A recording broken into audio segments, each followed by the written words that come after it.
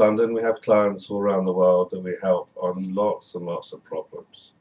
Uh, from all religions, We're not fussy like that. no, we, you know, and um, If you need help, you need help. That's fine. relationships. And the interesting thing is that people say a Muslim comes for uh, with problems and stuff, and sometimes the, whoever's been doing the, the black magic is from a different culture. Yeah. A good example of this is Chinese black magic.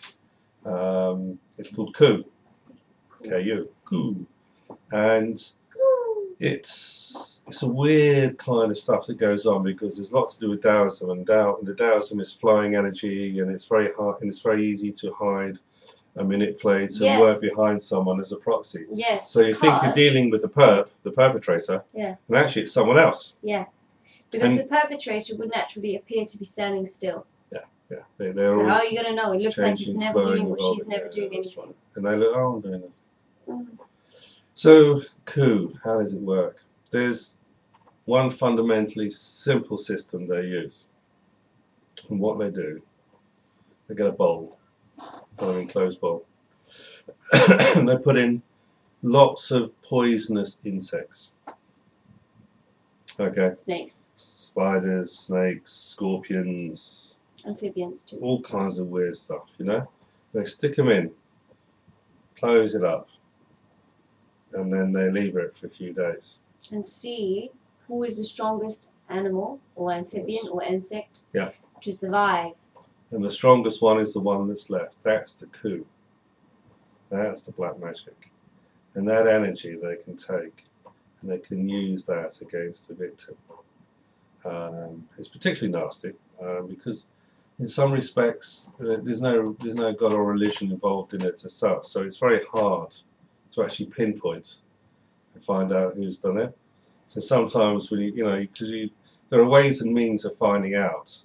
And when you work through these systems, you know, there's various things you try. You know, if they're Hindus, then you obviously look at the Hindu stuff. If they're Muslim, you look at the, Hindu, the Muslim things, and, and so on, until you can actually sort of narrow down the thing.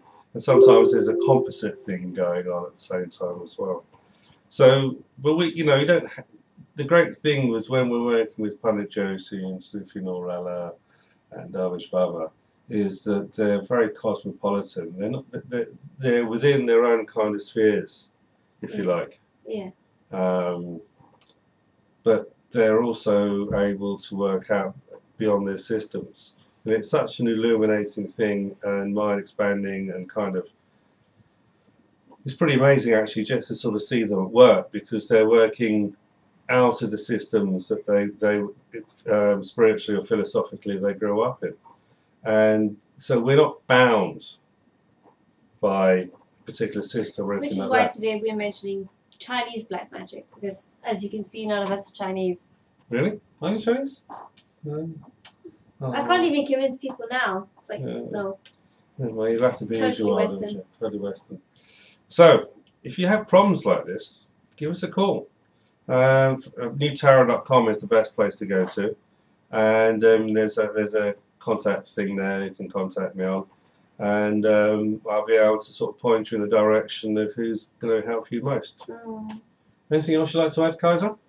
Well, uh, since you talk about the physical manifestation, although I don't really like the word manifestation, it means something completely different. But people mostly know what manifestation is when I say it in this um, context.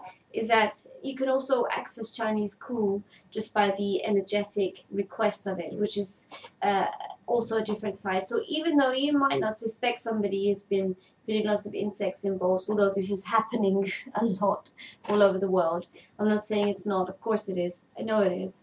Uh, but there's also other ways of. There are also other methods of uh, doing Chinese black magic to other people. You can just uh, have an uh, energetic request for it, and usually it shows up in very nasty ways. So, um, do we contact don't, us. We don't do that. We get rid of it. Yes, we do. We do get rid of it, but we just know how it works. so Chinese black magic is easy to do. Any peasant can do it. You just get a bowl of insects, chuck them in there, see what comes out the This is the and that's the problem. one. That's the good. Yeah, that's the problem. yeah, The- sorting it out. problem, yeah, that's the That's problem. the hard bit. This a problem on every side. Everybody can do it, and not everybody can actually get rid of it. It's a bit like kiddie scripts on Google for bringing down websites and stuff. You can Google for them, you get the scripts, and you can use them. Any idiot can do it. But solving the problem, So, hard. what are some of the things that can happen to you if you think you've been targeted by Ku? feeling energy drains, things just not going right for you.